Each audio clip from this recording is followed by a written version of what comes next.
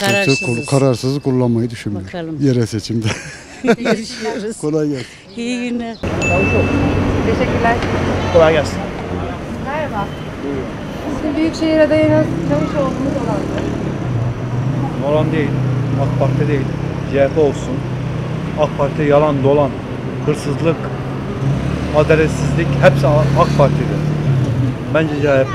Ben de adalet, hukuk, demokrasi diyorum. CHP diyoruz. Teşekkürler. Sattılar gal ülkeyi. Başka bir yer kalmadı. Açık değişiklik yapalım değil mi? CHP. Kararsızım. Bu sene oyumu kime veriyorum? Ya ben şimdi burada çok linçleneceğim ya. Kararsızım. Ee, ben e, kararsızım şu anda karar vermedim. Valla belli olmaz diye şu anda şeyimiz yok da. Kararsız. Ben aynı AK Parti vereceğim ben. CHP'ye. AK Parti'ye. AK Parti'ye düşünüyorum. Seçimde kime oy vereceksiniz? Şu anda kararsızım. Diyoruz da bu seçimde oyunuzu kime vereceksiniz? biz devamı Erdoğan'a veriyoruz. AK Parti'ye veriyoruz. AK Parti'ne MHP hariç herkese vereceğim. Emekliyim. Solcuyuz zaten. Yani AK Parti'ye oy vermeyeceğiz. Burası hep solcu. Şimdi şart yani.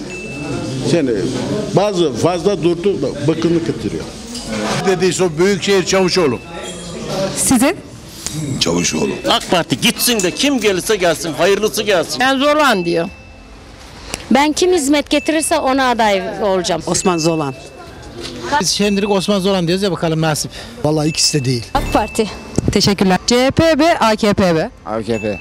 Nur Çavuşoğlu. Çavuşoğlu'nu hani soyadından dolayı aklımda olduğu için yani onun gelmesini isterim şahsen.